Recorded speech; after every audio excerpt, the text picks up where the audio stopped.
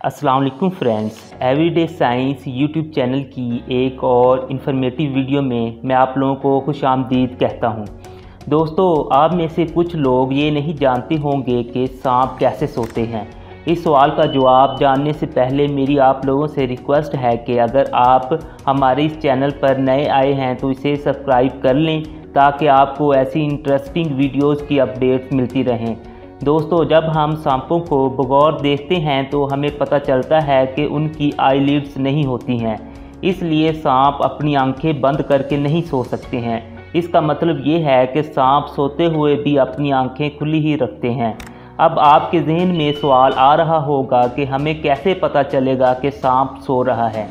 अगर सांप बिल्कुल साकन है और वो कोई हरकत नहीं कर रहा है तो इसका मतलब है कि वो सो रहा है। बहरहाल सांप को साकन देखकर आपको उसके पास नहीं जाना चाहिए, क्योंकि बाज़ अवकात वो सोने की बजाय इस हालत में रिलैक्स भी कर रहा होता है। इसलिए हमें सांप से कुछ फासला रखना चाहिए।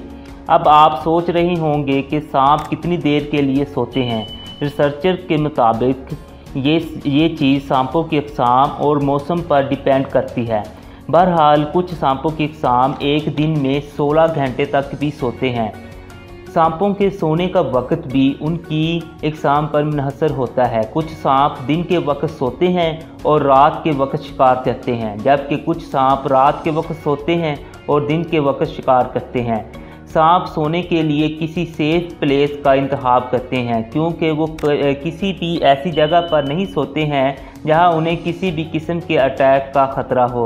अगर वो इस तरह की जगह पर सोते हैं तो वो हर वक्त स्ट्रेस फील करेंगे, और स्ट्रेस स्नेक का ज़िंदगी का दुरानिया थोड़ा होता है। इसलिए वो खाली बिलों, पुराने दरख्तों के तनों, या फिर किसी और सेफ़ प्लेस का इंतखब करते हैं। थैंक्स फॉर वॉचिंग वीडियो अच्छी लगे तो इसे लाइक और शेयर करना ना भूलें।